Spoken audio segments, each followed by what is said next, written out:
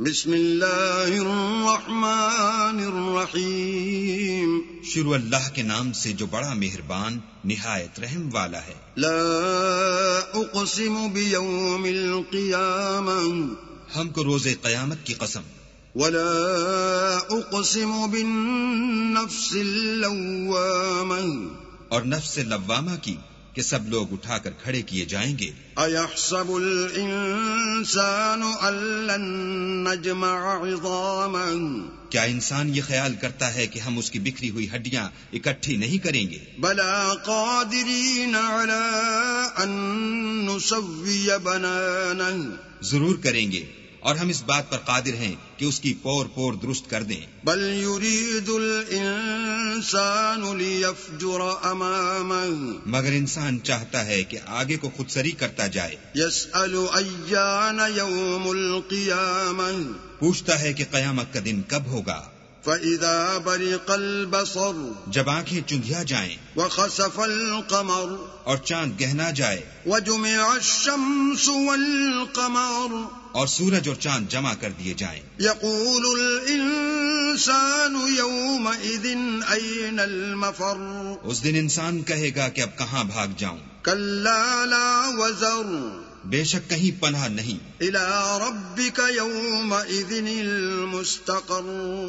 اس روز پروردگار ہی کے پاس ٹھکانا ہے۔ الانسان بما قدم واخر اس دن انسان کو جو عمل اس نے آگے بھیجے اور جو پیچھے چھوڑے ہوں گے سب بتا دیے جائیں گے۔ بل الانسان على نفسه بصيرا بلکہ انسان آپ اپنا گواہ ہے۔ ولو القى معاذيرا۔ اگرچہ عذر و معذرت کرتا رہے۔ لا تحرك به لسانك لتعجل به اور اے محمد صلی اللہ علیہ وآلہ وسلم وہی کے پڑھنے کے لیے اپنی زبان نہ چلایا کرو کہ اس کو جلد یاد کر لو۔ ان علينا جمعه وقرآنا اس کا جمع کرنا اور پڑھانا ہمارے ذمے ہے۔ فإذا قرأناه فاتبع قرآنا. جب ہم وہی پڑھا کریں تو تم اس کو سنا کرو۔ اور پھر اسی طرح پڑھا کرو۔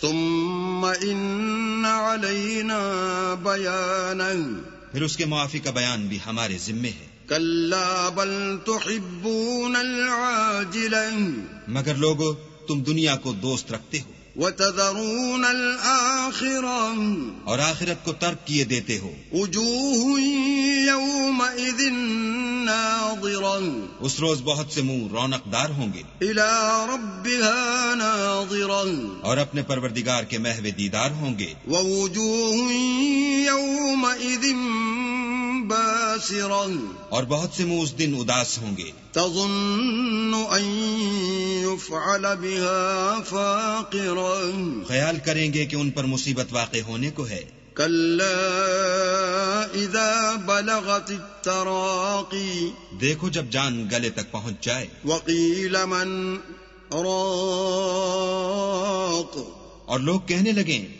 اس وقت کون جھاڑ پھونک کرنے والا ہے؟ وظن أنه الفراق. اور اس جہاں بلب نے سمجھا کہ اب سب سے جدائی ہے۔ والتفت الساق بالساق.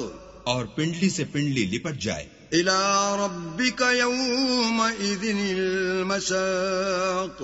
اس دن تجھ کو اپنے پروردگار کی طرف چلنا ہے۔ فلا صدق ولا صلى تو اس ناقبت اندیش نے نہ تو کلام خدا کی تصدیق کی نہ نماز پڑھی۔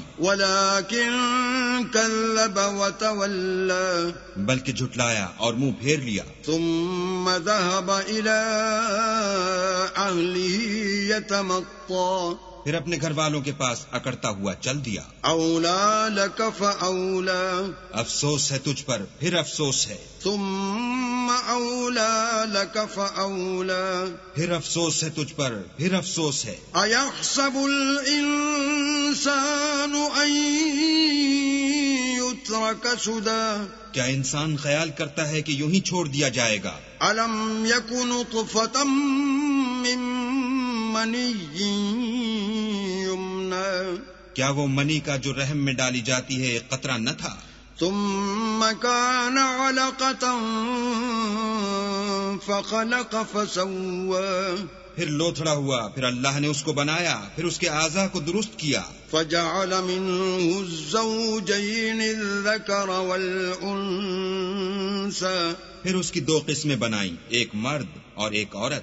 أليس ذلك بقادر على أن يحيي الموتى کیا اس کو اس بات پر قدرت نہیں کہ مردوں کو جلا اٹھائے؟